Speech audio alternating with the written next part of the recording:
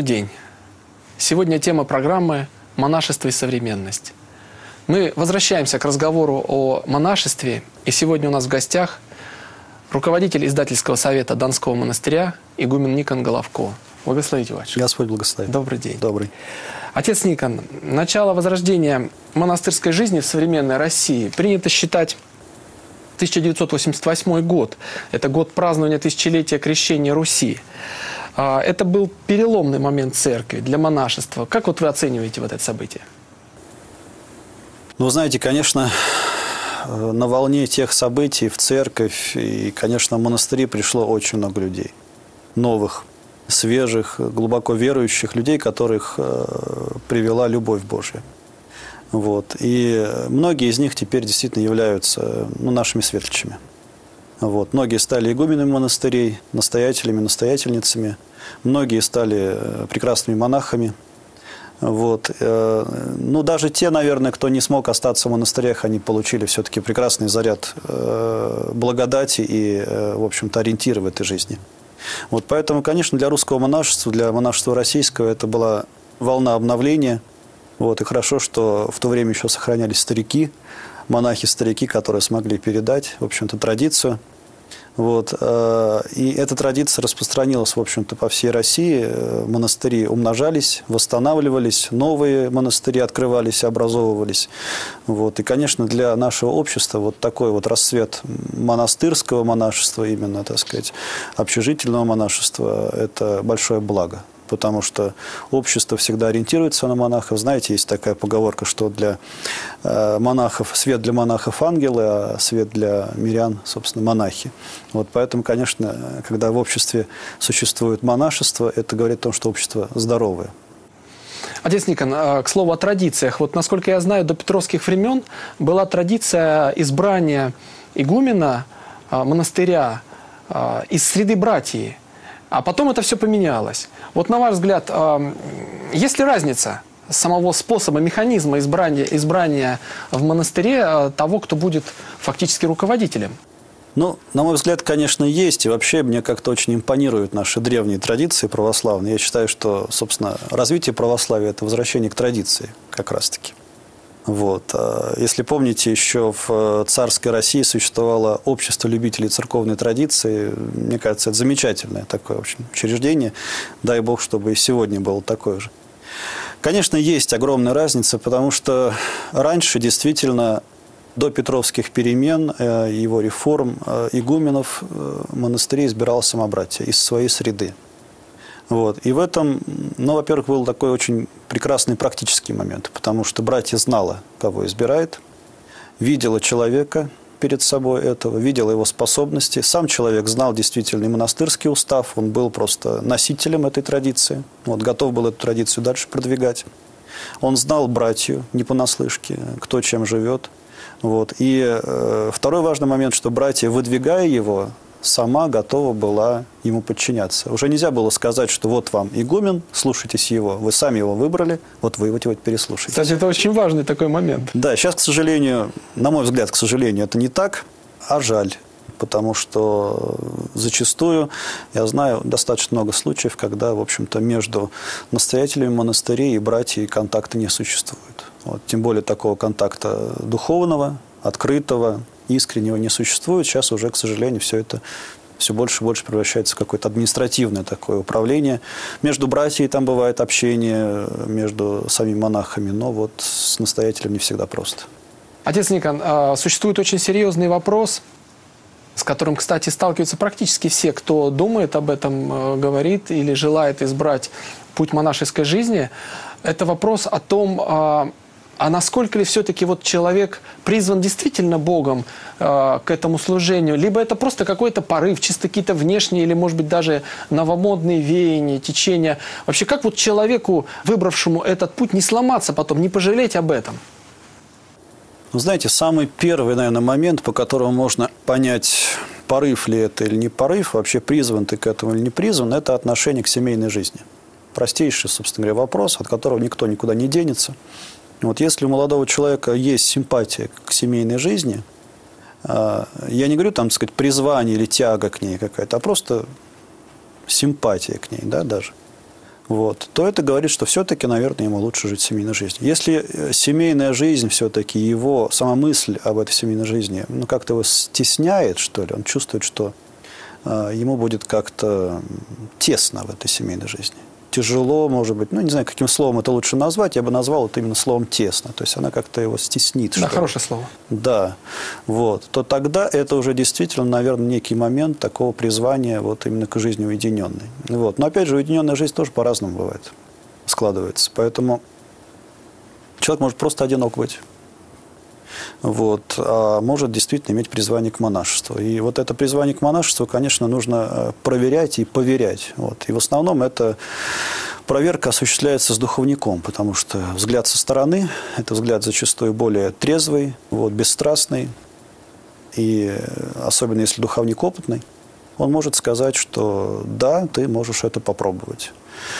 Ну, вы знаете, как интересно получается. У меня тоже был этот момент, и я ездил э, отцам, которые и до сих пор считаются у нас э, очень людьми духовными.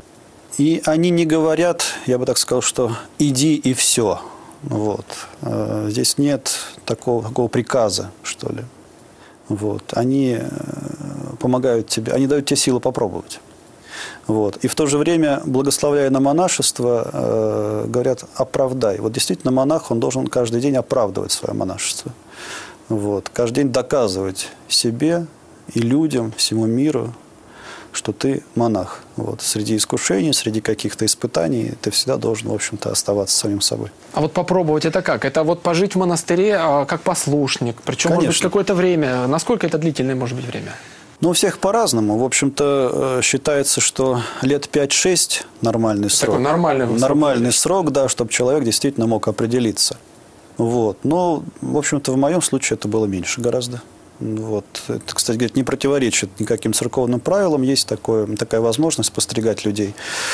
Э, готовых к монашеству и раньше. Вот, поэтому это все зависит действительно от степени готовности, э, вот, от степени воцерковленности человека, вот, э, от ну, как бы его церковной жизни до монастыря. Потому что бывает, что человек приходит в монастырь просто вот первый раз переступая порог церкви. Да? Бывает, что он, так сказать, до этого ну, вот как в моем случае произошло, достаточно большой церковный опыт имел. И монастырь просто явился каким-то вот такой проверочной школой, что ли. Ну, вот. Поэтому этот срок может разниться. Но, конечно, он должен быть. Вот. Конечно, монастырскую жизнь на себе надо испытать, потому что некоторые люди просто бывают не способны там, по ряду причин, ну, в том числе и физическое здоровье. Почему при принятии монашества принято менять имя? А в свое время монашество считалось вторым крещением. Вот. И действительно, это совершенно непередаваемое ощущение. Когда ты принимаешь постриг, ты чувствуешь себя новорожденным человеком. Вот в крещении, э, ну, это было давно, и мало кто помнит, а в монашестве ты чувствуешь это, потому что уже осознанно взрослым человеком это принимаешь, вот, чувствуешь себя совершенно новой личностью. Вот, поэтому э, меняют имя, потому что рождается новый человек. Рождается новый человек, который посвящает себя Богу. Ну а нет здесь вот как бы такой символики отрешения от прошлой жизни, от прошлых связей, ну, есть, обрыва конечно. вот этих нитей? Конечно, есть, потому что ведь э, монах дает обеты. Он дает обеты прилюдно, перед братьей. Вот. Иногда присутствуют еще и молящиеся а вот, прихожане там, монастыря или храма, где этот постриг совершается. Поэтому, конечно, есть отречение от этой жизни, вот, из которой он пришел, и рождение действительно новой личности. Но причем, понимаете, интересная вещь, что эта личность, которая рождается в постриге, она имеет все необходимое уже для спасения, нужно просто это сохранить. Вот, это самый сложный момент. Отец Никон, вернемся к теме современности. А, вот насколько я знаю, существует очень серьезная проблема – а, это то, что монахи, особенно в монастырях, находящихся в мегаполисах, они вовлекаются в водовороты э, мирской жизни даже помимо своего желания под разными, так сказать, ну, необходимыми, может быть, подчас э, мотивами того же социального служения, э, различных форм той же работы, настройки и так далее. Вот на ваш взгляд, где вот та граница, где тот баланс, который необходимо соблюсти, чтобы одно не уничтожило другого, чтобы вторичное, второстепенное не уничтожило главного? Ну, знаете, баланс Дело сложное, потому что этот баланс должен чувствовать в своей душе игумен монастыря. Если он не имеет духовного опыта, то он этот баланс никогда и не поймает. Вот. Это как настройки. Кладешь этот уровень, Вот, если он у тебя правильно настроен, то ты действительно горизонт поймаешь. Если он у тебя сбит, то это бесполезное занятие. Вот, поэтому, конечно, все это прежде всего зависит от игумена, от настоятеля монастыря. Вот, если у него нет таких способностей, то, ну, увы и ах. Действительно, монастыри вовлечены в социальную работу, иногда чрезмерно. Вот. И глядя на это, действительно опасаешься за то, что мы можем превратиться в какие-то снова трудовые артели.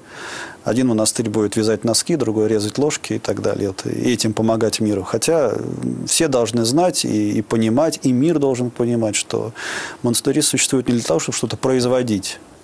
Вот. И ни на какой шее, так сказать, у мирян они не висят, они сами зарабатывают на свою жизнь.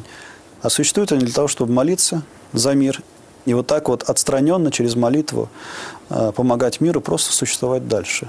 Просто жить без войны, без голода, без моров, чтобы дети рождались и смогли они вырасти и быть образованными и здоровыми. Вот, чтобы мир просто, просто э, продолжал существовать, и люди спасались во Христе. Вот для этого существуют монастыри. Это первое и самое главное их служение, а не какое-то физическое, какая-то физическая помощь этому миру. Вот сейчас, конечно, миряне очень плохо понимают, что такое монашество, для чего нужны монастыри, вот, и требуют, в общем-то, какой-то практической помощи. То есть рубят сук, на котором сидят? Да, в общем-то, да. Пилят его методично, но верно. Отец Никон, а вот э, если мы говорим о молитве монаха за весь мир и о молитве о себе покаянной молитве, что важнее? Помните, как сказано в Писании, что Богу-то приятна молитва, поспешествуемая добрыми делами, то есть подкрепляемая. Ну вот, если, собственно, ты будешь сам сосудом благодати и чистоты, то твоя молитва и за мир будет угодно Богу. Если ты будешь, в общем-то, внутренне разлажен и расстроен, то какая То есть, молитва? я так понимаю, молитва о своем состоянии, о себе, о своих грехах, это самое важное, так сказать, вот ну, в любом случае, нужно сначала бревно из своего глаза вытаскивать. Ну да, потом, без этого никак. потом уже увидишь, как сучок вытаскивается из другого. Отец Никон, огромное вам спасибо, что вы пришли к нам на программу. Спасибо, Андрей. Потому что очень много действительно интересных вещей и услышишь, и, так сказать, поймешь в таком диалоге, простом, а, открытом диалоге. Еще раз напоминаю, что у нас в гостях был э, руководитель издательского совета Донского монастыря, игумен Никон Головко. С вами была программа «Выбор жизни». До новых встреч!